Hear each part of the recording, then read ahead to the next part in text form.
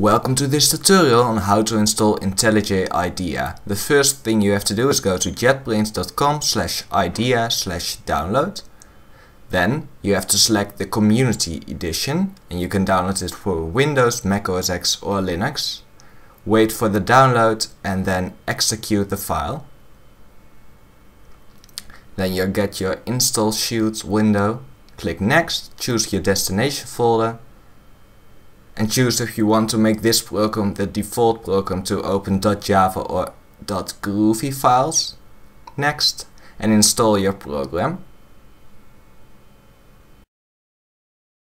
You now have IntelliJ installed on your machine. Click Finish and IntelliJ will run. To start coding, you will need to create a project in IntelliJ. You can create a Java project or an Android project. Click Next Next. And give your project a name, for example test. Now you are in IntelliJ, go to test and then source. Then right mouse button, new Java class. To create a new Java class, call it test class or something else. OK.